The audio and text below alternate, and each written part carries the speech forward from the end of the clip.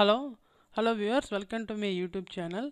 So in today's video we are going to see how to enable tab groups feature in google chrome in windows 10 desktop version. So for this first click chrome.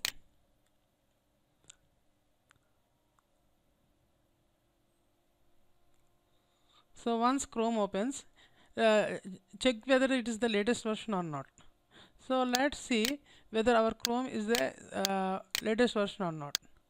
So for that you can do you click the hamburger icon or the three vertical dots here and click help about chrome. You can see that it is checking for updates automatically. So now the google chrome version the, is the latest version is 81 version.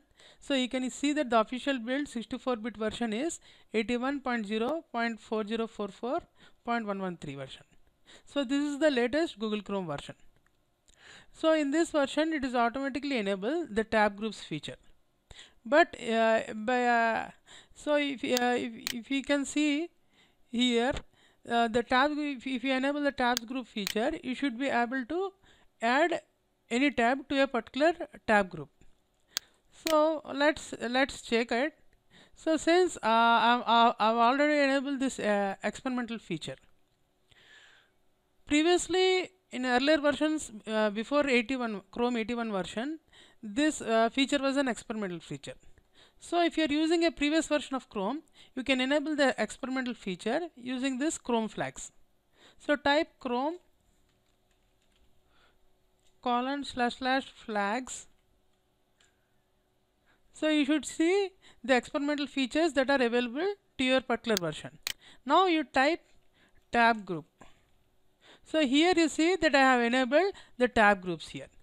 So hence now if I open for example let's say I search for Windows 10 so let's say I search for Windows 10 let's click this any any tab.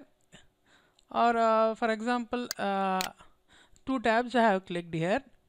Now I can create a tab group using these two tabs. So this is how you enable the this is how you enable the tab groups feature in Chrome. Uh, go to Chrome slash flags and add uh, in the search filter you type tab group. Next uh, then the tab groups experimental feature will be available. Click this drop down here and there are three options default enabled and disabled. Now you click on enabled so this will enable the tab groups feature. Thank you for watching my video. Please share to your followers